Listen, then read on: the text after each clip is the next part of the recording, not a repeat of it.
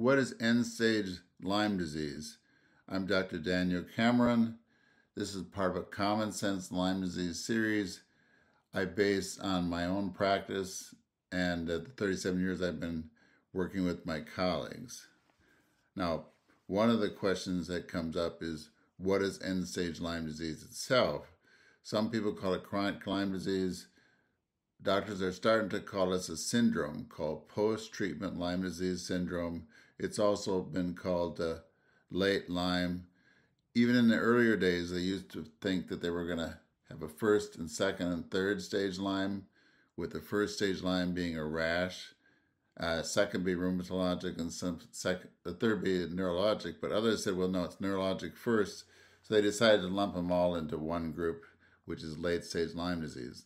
Now, over time, uh, some people have equated those late stage Lyme disease as uh, a, an immune phenomena.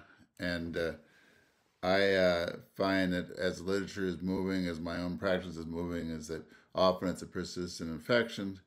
But with the emergence of understanding of co-infections like Babesia, it's gotten much more complicated. So instead of saying this is a syndrome or an immune uh, complex problem, some kind of immunologic injury, is that uh, calling it late, calling it chronic, whatever you call it, is that I always look a second time or a third time for persistent tick-borne infections.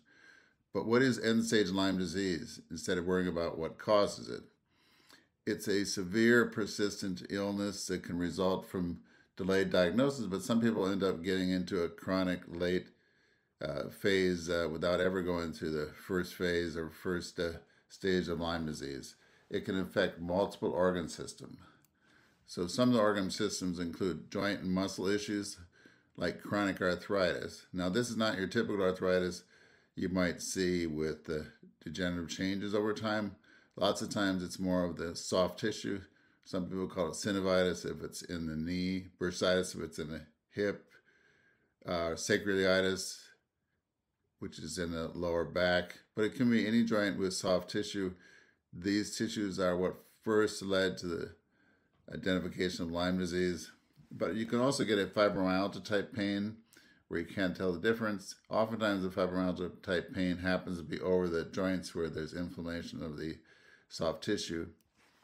Lyme disease can lead to a multiple range of neurologic issues. Uh, they used to think that maybe it's demyelination because the MRI shows white spots, but those white spots show up in multiple other illnesses and in people who are healthy. But this numbness, tingling, and burning could be a neuropathy. Sometimes it's called a small fiber neuropathy. But uh, it also uh, seems to be affected uh, with brain fog, memory loss, slow thinking that might not be any damage at all, just be an overactive autonomic response, an overactive neurotransmitter response. Uh, there are often seizures or what looks like pseudo seizures that uh, patients I've seen with uh, these late Lyme issues. Neuropsychiatric issues are pretty common, so this may be related to the overactive immune system where neurotransmitters are high. There's often every mood you can think of. It often comes as a wave or a, what I call a tsunami, and it can lead to every emotion you can think of, from anxiety, irritability, uh, sadness, OCD, uh, out of body type feelings. Uh, and so when you have these, they can be pretty substantial. Uh, also, there's also people get Lyme disease on top of a mental health disorder, so they can have both at the same time.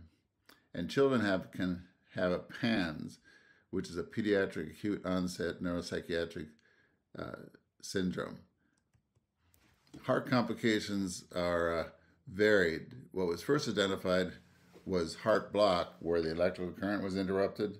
And some people would go all the way to complete heart block, be in the hospital, be in intensive care unit, have to have a pacemaker or an antibiotic to try to prevent progression of the of the heart block. But there's a lot of other issues, uh, including uh, POTS, postural orthostatic tachycardic syndrome, which is a type of lightheadedness one gets when one moves. Uh, there's other issues that occur with the heart all under an umbrella of Lyme carditis.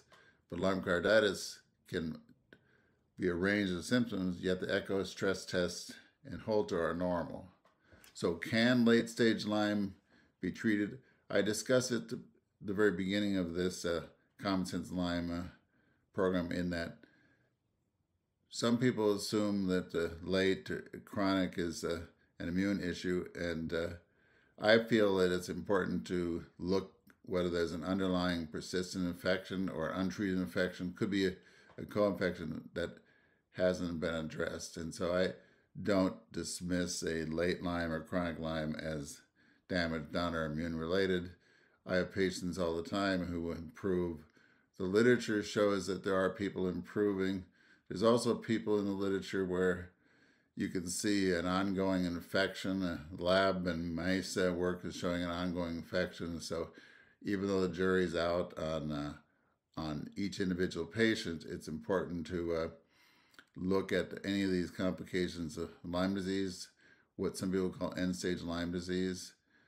So this is part of the Common Sense Lyme series I base on patients that I've seen in my practice.